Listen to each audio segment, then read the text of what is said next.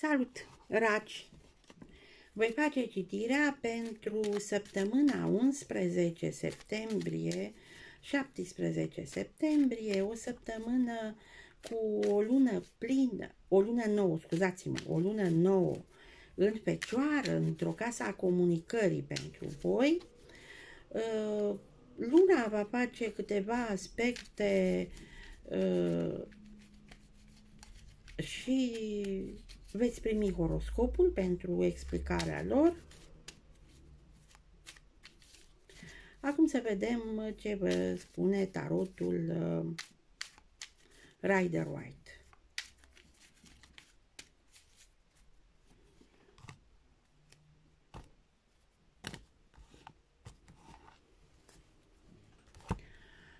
Iată, aveți uh, o distracție, o petrecere la care luați parte, vă distrați, uh, vă simțiți bine sau aveți această, cum să spun, uh, preocupare legată de o petrecere. Voi preocupați de familie, uh, sunteți, să zicem, cu familia alături de voi, și vă simțiți foarte bine. Legat de fericire, ceva va aduce fericire. Primiți niște bani, un 10 de monede, reprezintă bani pentru munca voastră și a familiei voastre. Sunt bani care vă dau o stare de bine, vă simțiți foarte bine cu acești bani, puteți să investiți și mai ales că soarele este într-un aspect benefic cu Jupiter. Veți vedea la horoscop acest 10 uh, de monede.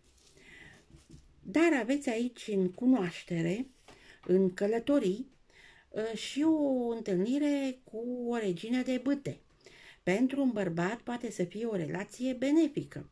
Este vorba de o femeie cu ascendent, zodie, lună plină în leu. Pentru o femeie poate să reprezinte uh, o rivală, și puteți avea această rivalitate, o regină de bâte.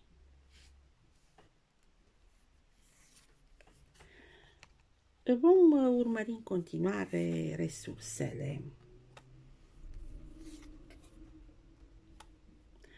În resurse, uh, bunuri materiale, voi veți primi o veste. Este o veste care vă dă o stare de captivitate, uh, un blocaj mental, Ă, poate că voi ați făcut ceva care vă creează o teamă, o frică. Ă, poate să fie un lucru care nu este tocmai ă, benefic pentru voi și puteți în final găsi soluții dacă vă eliberați de această, acest aspect, de acest blocaj mental și căutați soluții în ceea ce privește locul de muncă. Voi arătați generozitate, oferiți celorlalți, primiți de la ceilalți, puteți să oferiți câțiva bănuți, eu știu, la salariu, sau puteți să oferiți uh, un uh, sprijin uh, dând o, o șansă unei persoane să arate ceea ce poate să facă într-o funcție nouă. În schimb, legat de carieră, s-ar părea că ați făcut eforturi foarte mari pentru această carieră, dar deja uh, eforturile voastre rămân în spate, rămân în urmă, uh, priviți spre viitor și lăsați aceste eforturi, aceste cupe pline în spatele vostru, în urma voastră.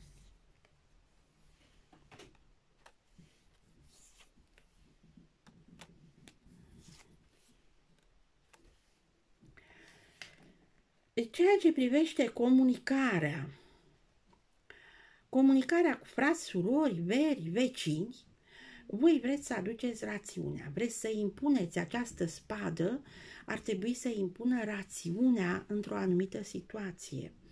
Deci poate fi un aspect benefic pentru voi, fiindcă după o perioadă lungă de stagnare, vă doriți ca această spadă să vă ajute, să vă susțină, să vă facă dreptate, fiindcă spada, la fel ca și balanța cu spada, poate să aducă acea dreptate divină. În schimb, la regele de spade este vorba de un contract, de o asociere, de un proces, de o neînțelegere, de căsătorie, unde vouă vi se impune cumva de către un bărbat cu ascendent zodie în uh, vărsător, vorbim de un bărbat mai în vârstă, un bărbat care uh, vă cere să respectați anumite principii, anumite reguli, anumite legi și vă impune acest uh, aspect. Este vorba de regele de spade voi trebuie să țineți cont că acest personaj este o persoană foarte rece, foarte uh, mentală și nu veți putea să veniți în fața lui cu sentimente, cu uh, să-l convingeți, uh, să încercați să-l lămuriți. Nu veți putea să-i arătați sentimente sau altceva. Iubire. În schimb, uh, relațiile voastre cu prietenii sunt sub semnul uh, imaginației, sub semnul amăgirii, vă creați al iluziilor, vă creați singuri uh, iluzii în aceste relații, uh, nu observați atitudinea reală a celorlalți și acest lucru vă vulnerabilizează uh, când umblați după un, un fel de fata morgana, este o, o cum să spun, o atitudine de vulnerabilitate într-o relație cu prieteni sau cu protectori, cu asociații profesionale, orice fel de relații, ă, voi trebuie să le priviți altfel, adică să vedeți realitatea. Și să vorbim de cămin, de familie. În familie aveți un prinț de spade. Vorbim de un bărbat cu ascendent zodie în uh, gemeni. Este vorba de un bărbat care este un adevărat luptător. Este un războinic.